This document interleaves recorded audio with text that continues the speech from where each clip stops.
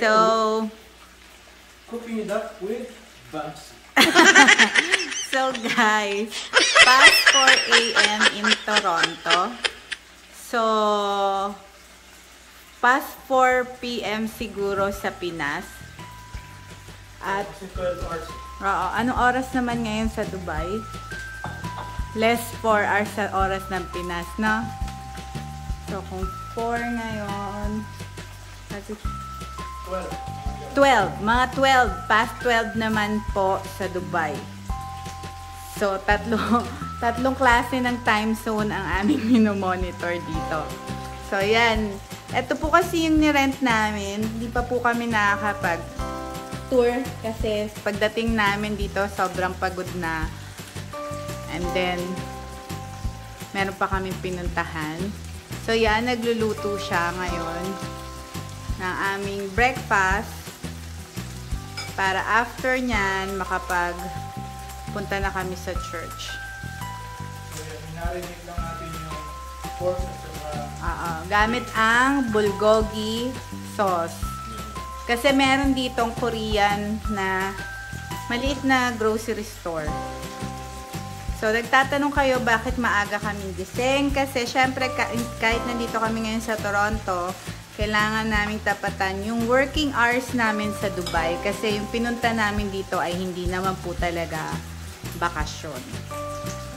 So, ito naman po yung working area ni Babsy dito sa inupahan namin sa Toronto. Kompleto yung setup niya, oh. Kasi dito sa inupahan namin, meron na ring monitor, keyboard, tsaka may mouse. Pero yung ginagamit niya yung dala namin. Yan. Tingnan naman, ito yung setup niya. Yan.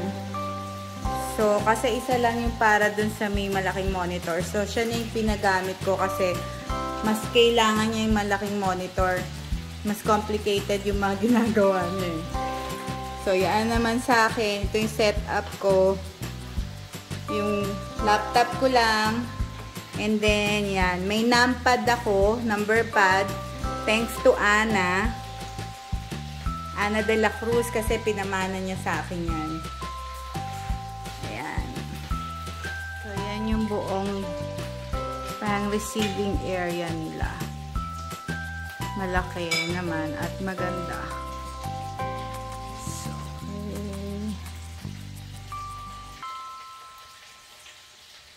And then, dyan yung kitchen. si Babsy. Toilet and bath nila dito. So, ito yung sa first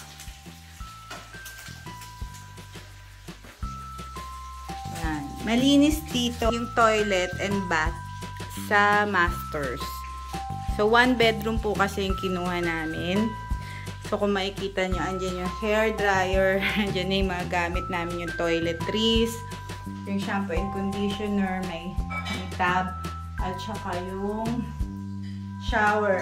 Tapos, ito yung pinaka, ano nila, meron niyang remote control. Nandito siya. Ayan. So, wala silang bidet dito, pero automatic makakapag-wash ka. Kung kailangan mo. Pindot-pindot lang sa remote control. Okay. Ayan. May dresser sila. Andyan yung gamit ko.